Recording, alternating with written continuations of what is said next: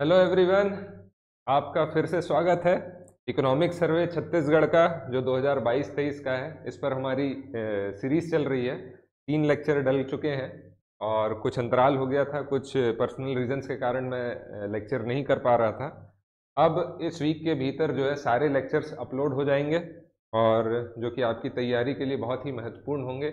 जैसे कि मैं बार बार कहते आ रहा हूँ पहले लेक्चर से कि हम इकोनॉमिक सर्वे का सीधे क्रक्स निकाल कर आपके साथ डिस्कस कर रहे हैं और इसके पीडीएफ हमारे टेलीग्राम चैनल में हम शेयर कर रहे हैं। टेलीग्राम चैनल की लिंक जो है, वो आपको मिल जाएगी डिस्क्रिप्शन में। इसके अलावा डिस्क्रिप्शन में हमारा एप्लीकेशन भी है प्ले स्टोर पर गूगल एंड्रॉयड प्ले स्टोर पर, जिसे आप डाउनलोड करके ऑनलाइन भी अगर आपको लेक्चर्स लेना है या ऑनलाइन टेस्ट सीरीज़ लेना है, सबसे किफ़ायती दामों में जो कि है, आप जाकर वहाँ से परचेस कर सकते हैं और economic survey free of cost आप जाके डाउनलोड कर सकते हैं।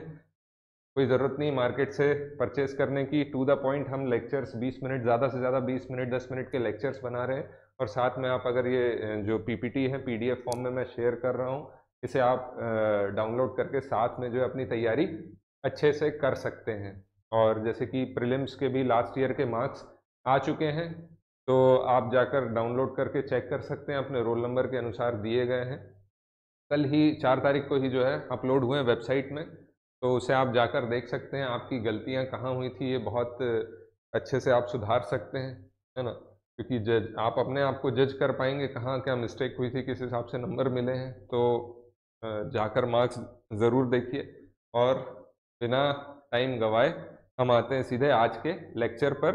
जो कि हमारा चौथा लेक्चर है, सार्वजनिक वितरण प्रणाली या फिर पीडीएस तो पीडीएस या जो पब्लिक डिस्ट्रीब्यूशन सिस्टम है, ये छत्तीसगढ़ का जो है, काफ़ी समय से काफ़ी इंपॉर्टेंट पोर्शन रहा और काफ़ी नेशनल लेवल पर या राष्ट्रीय लेवल पर भी काफ़ी चर्चा में रहा है। क्योंकि हमारा पीडीएस सिस्टम या जो सार्वजनिक वितरण प्रणाली है, ये काफ़ी सिटीज़न सेंट्रिक है। काफ़ी ज़्यादा जो है नागरिकों के फ़ायदे के लिए इसमें प्रावधान किए गए। और जो बेसिक अगर बोला जाए सार्वजनिक वितरण प्रणाली या फिर आपका जो राशन सिस्टम है ये अगर कहा जाए तो ये एक तरीके से एक समाजवादी एंगल है सोशल एंगल है जो आ, समाज के जो पिछले तबके के लोग हैं जो मूलभूत जो सुविधाएँ हैं जो आपके खान पान से संबंधित है पौष्टिक आहार से संबंधित है वो जो एफर्ट नहीं कर सकते तो उसके लिए जो है सब्सिडाइज रेट में गवर्नमेंट जो है पीडीएस सिस्टम के थ्रू या सार्वजनिक वितरण प्रणाली के थ्रू अवेलेबल कराती है। एक तरीके से खाद्य सुरक्षा सुनिश्चित करी जाती है आपका सार्वजनिक वितरण प्रणाली के द्वारा। मतलब फ़ूड सिक्योरिटी जो है एश्योर की जाती है पब्लिक डिस्ट्रीब्यूशन सिस्टम के थ्रू मैं कोशिश करूँगा कि बाइलिंगुअल फॉर्म में जो है आपको लेक्चर डिलीवर करूँ। ताकि दोनों ही मीडियम के बच्चों को इसमें दिक्कत ना हो। तो हम आज का जो पहला टॉपिक है वो देखते हैं इम्प्लीमेंटेशन या कार्यान्वयन बोल रहा है। तो इसमें अगर हम देखें इम्प्लीमेंटेशन या कार्यान्वयन में सबसे पहला चीज़ जो बोल रहा है फ़ूड सिक्योरिटी या खाद्य सुरक्षा की बात हो रही है। फ़ूड सिक्योरिटी या खाद्य सुरक्षा, अब भी मैंने बोला, सार्वजनिक वितरण प्रणाली के द्वारा जो है, सरकार कोशिश करती है कि जो नागरिक को सुविधाएँ नहीं मिल पा रही हैं, वो भी इसे मिल सके। और ये एक कहा जाए तो समाजवादी पहलू है सोशल लिस्ट है ना? हम पढ़ते हैं हमारी प्रस्तावना, उसमें मिलता है, समाजवाद या समाजवादी देश है हमारा तो सोशलिस्ट पहलू है, हमारे संविधान में भी मेंशन है तो फ़ूड सिक्योरिटी अपने नागरिकों के लिए एश्योर करना फिर इसके अंतर्गत रियायती दरों में खाद्यान्न एवं आवश्यक वस्तुएँ समाज के कमज़ोर वर्गों को प्रदाय किया जाता है। जैसे अभी मैंने कहा, जो पिछड़े तबके के हैं, उनको मेन स्ट्रीम में लाना है। चाहे मेन चीज़ तो खाद्य ही है। अगर फ़ूड सिक्योरिटी अच्छी रहेगी तो आपका जो वर्क फोर्स है, वो भी बेटर रहेगी। जो कार्य शक्ति या कार्य बल निकल के आएगा, वो भी अच्छा रहेगा। और साथ में जो है, हमारा देश में बहुत ज़्यादा दिक्कत है माल न्यूट्रिशन की या फिर कुपोषण की और छत्तीसगढ़ में भी ये काफ़ी ज़्यादा थी। वो टॉपिक आएगा स्पेसिफिकली स्वास्थ्य वाला, उसमें हम डिस्कस करेंगे और कुपोषण के बारे में पहले भी हमने डिस्कस किया है। तो ध्यान रखेंगे जो कमज़ोर तबके के लोग हैं, उनकी रियायती दरों में या फिर सब्सिडाइज रेट में जो है खाद्यान्न एवं आवश्यक वस्तुएँ प्रदाय करने की ये स्कीम है। इसमें क्या किया? तो खाद्यान्न मतलब आपका फ़ूड ग्रेन्स शक्कर कैरोसिन नमक, चना आदि का वितरण खाद्यान्न नागरिक आपूर्ति एवं उपभोक्ता संरक्षण विभाग द्वारा जो है ये किया जाता है। तो ध्यान रखेंगे मेन एक विभाग है जिसका कार्य ही यही है। तो ये विभाग के द्वारा कुछ तरीकों से जो है ये प्रोसेस की जाती है। तो इन्हीं के बारे में हम आज देखेंगे। तो इसका संचालन जो होता है, पूरा पीडीएस सिस्टम जो है वो किस तरह से संचालित होता है? तो इसके कुछ प्रदाय सेंटर हैं या डिस्ट्रीब्यूशन सेंटर्स हैं। इनकी संख्या ये पेपर में कई बार प्री में पूछा जाता है तो 138 है। 2022-23 के इकोनॉमिक सर्वे में ऐसा दिया गया है तो आपको ये याद रखना है। उचित मूल्य दुकानें या फेयर प्राइस शॉप्स जो होती हैं, जहाँ से ये सिस्टम पूरा संचालित होता है, नागरिक जाकर सामान जो है परचेस करते हैं राशन कार्ड के आधार पर।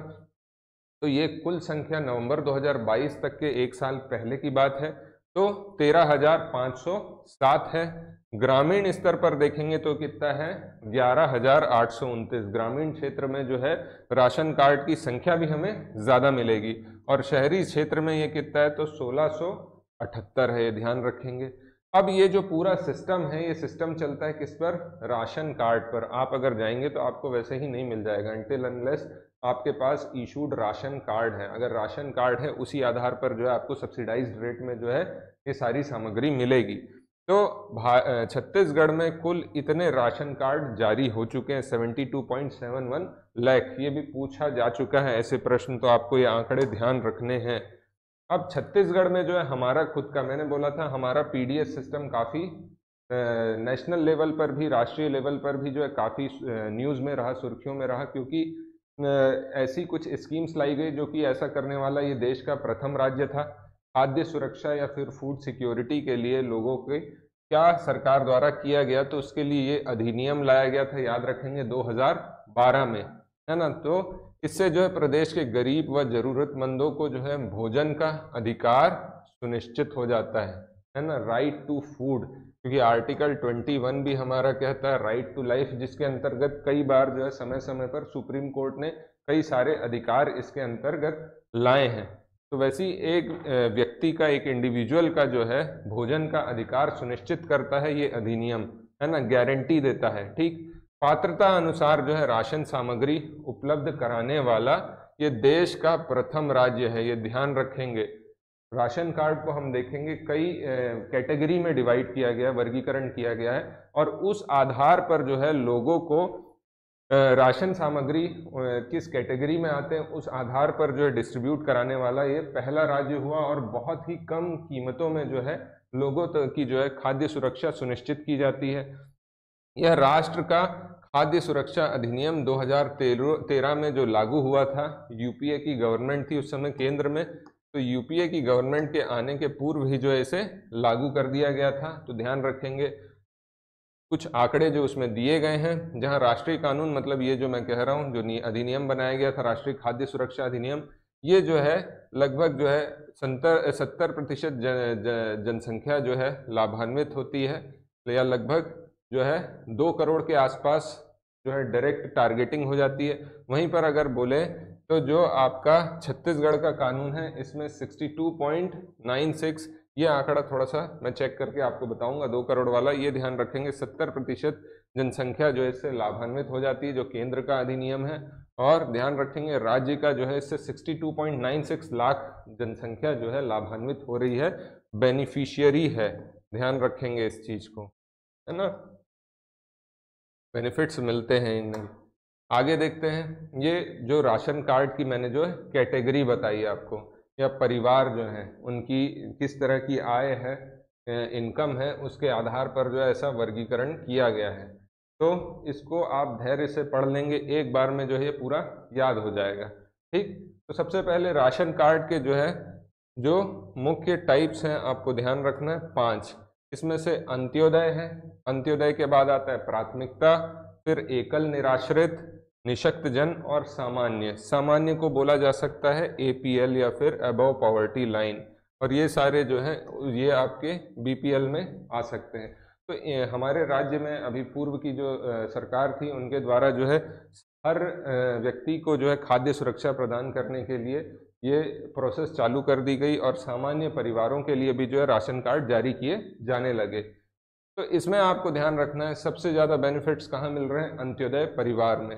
तो इसमें तीन चीज़ों में जो है आपको खाद्य सामग्री मिलेगी। तो सबसे पहले राइस या फिर चावल, है ना? फिर ग्राम बोले तो चना, है ना? ग्राम बोले तो चना, रिफाइंड आयोडाइज्ड नमक, ये तीन चीज़ों पर मिल रही है। अब ये तीन चीज़ों में चावल जो है ये लगभग 35 किलो प्रति माह मिलता है। किस दर पर मिलता है? तो एक रुपए पर केजी की दर से मतलब पैंतीस रुपये में महीने का 35 किलो चावल, अंत्योदय परिवार, राशन कार्ड धारी को जो है मिल जाता है। चना जो है, दो किलो पर फैमिली को मिलता है और स्पेशली जो आपका शेड्यूल्ड एरिया, अनुसूचित क्षेत्र या आपका माडा एरिया है वहाँ पर, और ये किस रेट पे मिलता है? तो पाँच रुपये पर केजी की दर से। वहीं पर अगर मैं बोलूँ, रिफाइंड आयोडाइज नमक तो ये मिल रहा है आपका शेड्यूल्ड या अनुसूचित क्षेत्र में दो रुपए प्रति केजी की दर से और नॉन शेड्यूल में ए सॉरी दर से नहीं, दो रुपए पर के, दो केजी पर फैमिली पर मिल रहा है और वहीं पर नॉन शेड्यूल या फिर आपका जो गैर अनुसूचित क्षेत्र है, वहाँ पर एक केजी पर फैमिली और ये जो है पूरा मिलता है क्या? निशुल्क। ध्यान रखेंगे सॉल्ट जो है वो मिलता है निशुल्क। ठीक, इसके बाद आते हैं हम किसमें? तो प्राथमिकता परिवार। तो प्राथमिकता में भी वही चीज़ें मिल रही हैं फिर से, ठीक? बस इसमें, और रेट भी सेम है, ठीक? क्वांटिटी डिफरेंट हो रही है, बदल रही है, कहाँ बदल रही है? अच्छा ये ग्राम का है ना, ध्यान रखेंगे, थोड़ा नीचे हो गया। ये चने का है, और ये रिफाइंड आयोडाइज नमक का है। थोड़ा ऊपर नीचे हो गया, मैं पीपीटी में इसे ठीक कर दूँगा। ये पूरा का पूरा किसका है? चावल के लिए। तो चावल के लिए अगर एक व्यक्ति है फैमिली में, एक व्यक्ति के राशन कार्ड पर 10 के जी पर मंथ मिलेगा, दो व्यक्ति हैं तो 20 के जी मिलेगा, तीन से पाँच व्यक्ति हैं तो उनको 35 के जी पर मंथ मिलेगा। पाँच व्यक्ति से अगर ज़्यादा हैं फैमिली में तो प्रति सदस्य को सात के जी प्रति माह जो है आपका क्या मिलेगा? चावल मिलेगा। तो आपको ये फैक्ट याद रखना है यहीं पर, है ना? बाकी 35 के जी दो के जी है, यहाँ पर 10 के जी बीस के जी पैंतीस के जी और सात के जी मिलेगा प्रति सदस्य के आधार पर। रेट सेम टू सेम वही है। एकल निराश्रित पर आते हैं, सिंगल, डेस्टिट्यूट। तो जो एकल निराश्रित है, उसे सिर्फ़ क्या मिल रहा है? राइस मिल रहा है दस के जी पर मंथ और ये भी क्या मिल रहा है? निःशुल्क मिल रहा है। वहीं निषिक्त जन जो है, डिसेबल्ड हैं या दिव्यांग जो हैं, उनको भी 10 के जी के हिसाब से सिर्फ़ राइस मिल रहा है। और वहीं सामान्य परिवार को भी क्या मिल रहा है? सिर्फ़ राइस जो है, किस रेट पर मिल रहा है? तो एक व्यक्ति के लिए 10 के जी दो व्यक्ति के लिए 20 के जी और तीन से पाँच व्यक्ति अगर हैं परिवार में तो उसके लिए दस रुपये पर केजी के हिसाब से राइस या चावल मिलेगा। तो ये आप जो पीडीएफ डाउनलोड करेंगे, उसमें से आसानी से देख लेंगे और एक बार में याद हो जाएगा। आपको ज़्यादा दिक्कत नहीं होगी, इसको मैंने क्लियर फॉर्म में लिख दिया है। इसमें कुछ जो नोट है आपको वो ध्यान रखना है। नोट यह है कि चने की पात्रता जो है, राज्य की अनुसूचित क्षेत्रों और माडा क्षेत्र में निवास करने वाले समस्त अंत्योदय और प्राथमिकता राशन कार्ड धारी परिवारों को होगी, है ना? तो जो शेड्यूल या फिर माडा एरिया है हमारे प्रदेश में, वहाँ पे जो है चने की पात्रता मिलेगी, चाहे वो अंत्योदय परिवार हो या प्राथमिकता, पीछे हमने देख लिया, दोनों को मिल रही है। इसके अलावा उपरोक्त सामग्री के अतिरिक्त अंत्योदय और प्राथमिकता परिवारों को प्रति राशन कार्ड सत्रह के रुपए पर केजी की दर से जो है, एक केजी शक्कर की भी पात्रता है। तो एक केजी शक्कर अगर इनको लेना है कौन से कौन से अंत्योदय और प्राथमिकता परिवारों को तो सत्रह रुपये पर केजी के हिसाब से शक्कर भी उपलब्ध है।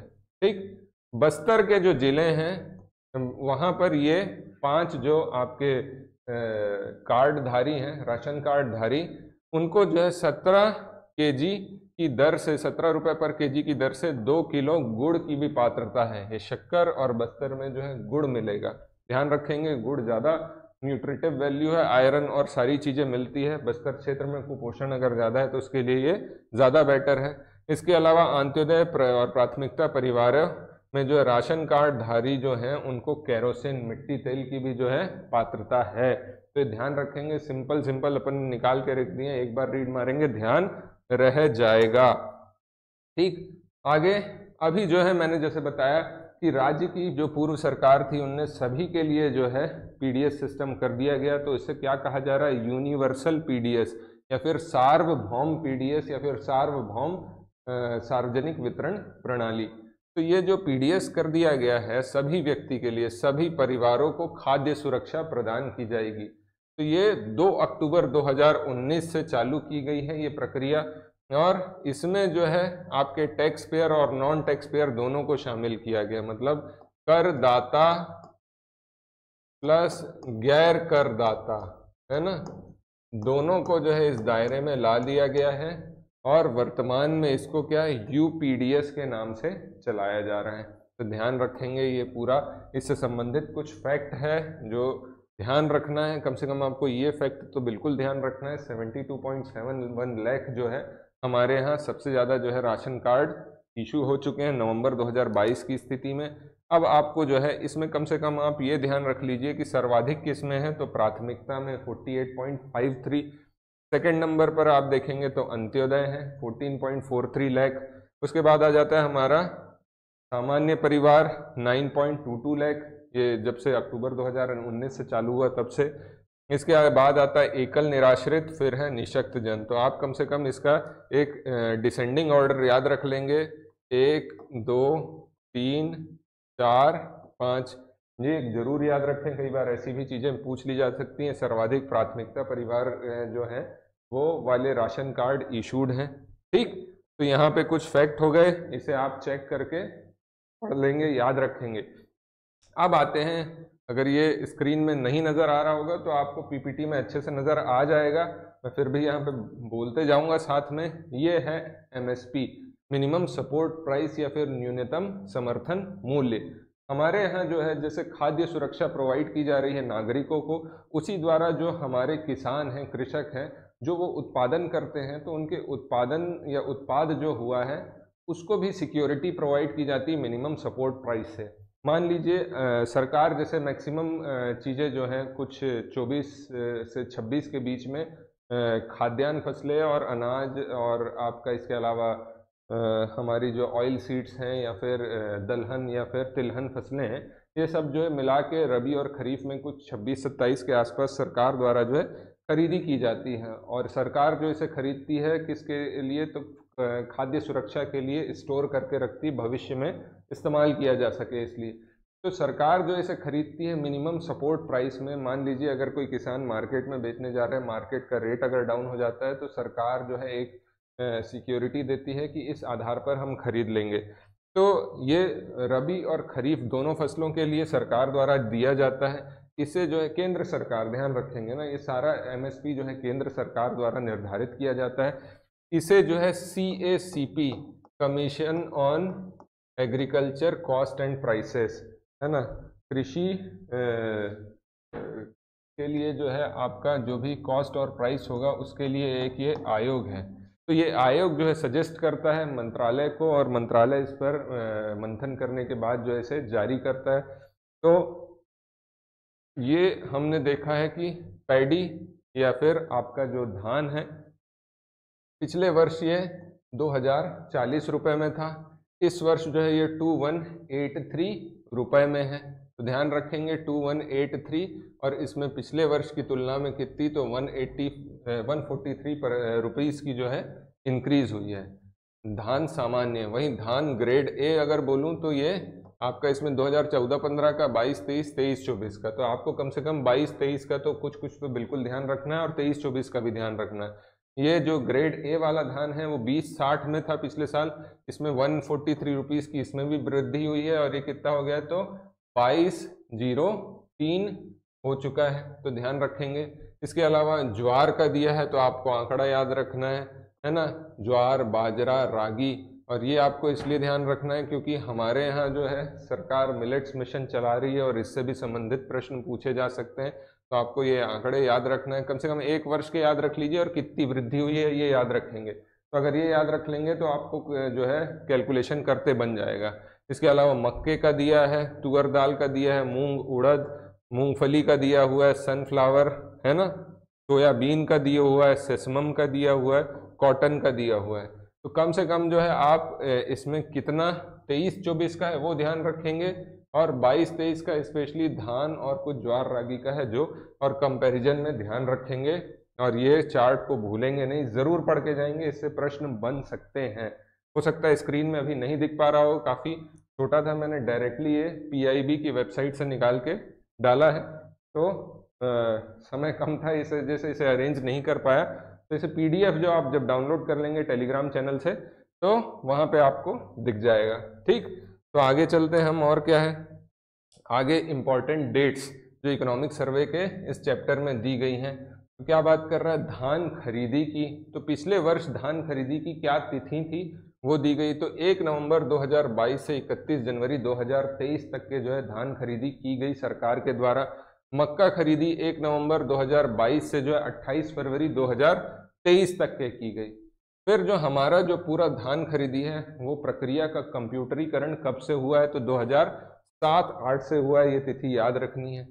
हमारे यहाँ जो है चावल उत्सव मनाया जाता है। फरवरी 2008 से चालू किया गया। हर माह ये मनाया जाता है। ये एक तरीके से राज्य शासन द्वारा जो ये पूरा पीडीएस सिस्टम है, इसकी प्रॉपर नियमित रेगुलर मॉनिटरिंग या नियमन किया जाता है। इसलिए जो है ये चावल उत्सव याद चालू किया गया। तो याद रखेंगे, कब से चालू हुआ है और साथ में ध्यान रखेंगे ये किस लिए चालू किया गया। है तो दोनों तिथियों के बारे में, दोनों जानकारियों के बारे में आप याद रखेंगे।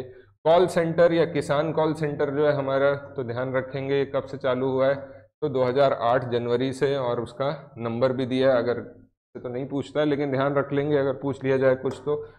आगे इसके अलावा एक वेबसाइट है, जन भागीदारी वेबसाइट ये दिया हुआ था उसमें, Khadya dot C G dot N I C dot in citizen citizen home तो नागरिकों से डायरेक्ट संवाद, नागरिकों से जो भी उनकी इशू हैं जो भी उनका दिक्कत है वो डायरेक्ट जो है गवर्नमेंट सॉल्व करे, इसलिए जो इसे चालू किया गया है। तो एक नवीन प्रयोग है और कोई भी नागरिक जो इस वेबसाइट में जाके अपना निशुल्क पंजीकरण कर सकता है। और पंजीयन के बाद ईमेल के माध्यम से जो है खाद्य विभाग से जो है संबंधित शिक्षा एवं सुझाव भेजने की सुविधा इसे उपलब्ध होगी। जो भी चीज़ों में दिक्कत है तो वो डायरेक्ट कम्युनिकेशन कर सकता है। किससे? तो आपका विभाग से या डिपार्टमेंट से तो ध्यान रखेंगे इसके बारे में। जन भागीदारी वेबसाइट जो है, Khadya dot C G dot N I C आगे देखते हैं, कुछ अवार्ड्स मिले हैं पी डी एस में, है ना? क्योंकि इसका पूरा पूरा कंप्यूटराइजेशन हो गया है आज की डेट में। कंप्यूटराइजेशन होने से काफ़ी ज़्यादा जो है, पूरा सिस्टम में ट्रांसपेरेंसी आ जाती है, पारदर्शिता आ जाती है। तो ये पारदर्शिता आने के कारण जो है भ्रष्टाचार या करप्शन या जो भी चीज़ इसमें होती होगी हेर फेर जो होती थी, वो चीज़ें जो है ख़त्म हुई। इस कारण से भी हमारा जो पूरा पीडीएस है छत्तीसगढ़ का काफ़ी चर्चा में था। और हम अगर देखेंगे तो कभी पूछ लिया जाए छत्तीसगढ़ के पीडीएस की विशेषताएँ अगर तो उसमें आप एक पॉइंट ज़रूर बता सकते हैं। मेंस में पूछ लिया जाए तो भाई ट्रांसपेरेंसी है है ना? पारदर्शिता है। दूसरा आप बोल सकोगे कि कंप्यूटराइज्ड है है ना? ठीक। उसके अलावा फ़र्स्ट स्टेट है जिसने ऐसा चालू किया। इसके अलावा आप और क्या बोल सकते हो कि आप कैटेगरी वाइज जो है टारगेट करते हो, है ना? वर्गीकृत करके जनसंख्या को टारगेट करके आप जो उनकी खाद्य सुरक्षा सुनिश्चित करते हो, फ़ूड सिक्योरिटी को जो है या खाद्य सुरक्षा को इंश्योर करते हो।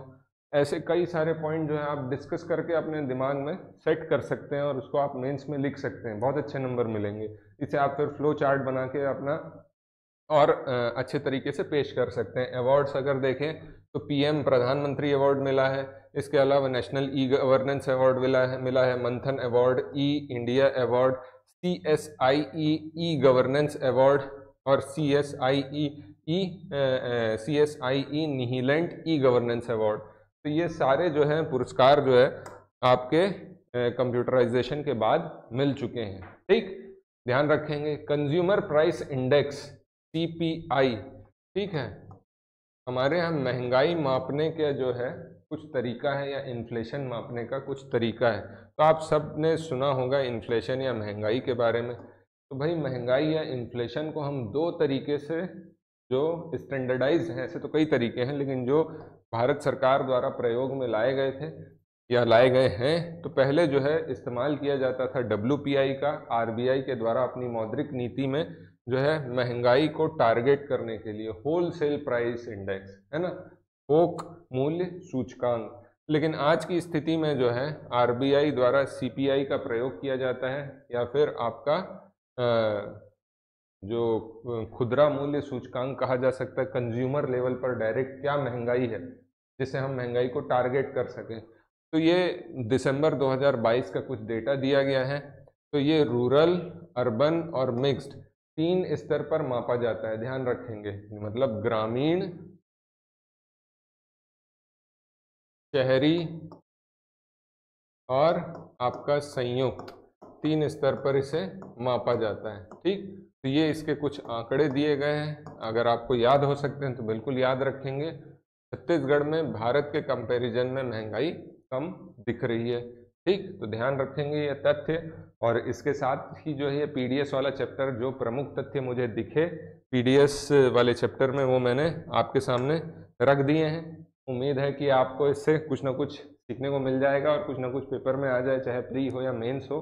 तो इसे ज़रूर पढ़ें टेलीग्राम चैनल में जाएँ और इसे डाउनलोड करके अपनी जो भी मटेरियल बना रहे हों उसमें जोड़ लें और ज़्यादा से ज़्यादा लोग तक शेयर करिए सब्सक्राइब करिए। हमारा भी इससे मोटिवेशन बढ़ता है कि एक जो सपोर्ट हम कर रहे हैं, वो सही डायरेक्शन में है। तो इसके अलावा जो है हंड्रेड डेज़ चैलेंज एक सीरीज़ चल रही है, उसमें हम और एक दो नए सब्जेक्ट जल्द ही प्रारंभ करने वाले हैं। तो उसे भी आप देख सकते हैं। इसके अलावा कॉन्स्टिट्यूशन संविधान के लेक्चर्स पढ़े हैं। फ़िलासफ़ी या दर्शन के लेक्चर्स भी हमारे वीडियोज़ में हैं। तो ये सब जो है आप जाकर देख सकते हैं और अपनी तैयारी अच्छे से कर सकते हैं। ठीक? तो इसी के साथ आज का लेक्चर यहीं समाप्त करते हैं। अगला लेक्चर जो होगा, वो पब्लिक फाइनेंस या लोक वित्त पर है। छोटा सा लेक्चर होगा इकोनॉमिक सर्वे का ही। तो उसे भी ज़रूर देखें। और इस वीक में आपका इकोनॉमिक सर्वे मेरी गारंटी है, इसको पढ़ के जाएँगे। आपका कोई भी क्वेश्चन अगर आएगा, वो बन जाएगा। ठीक? थैंक यू वेरी मच मिलते हैं। All the best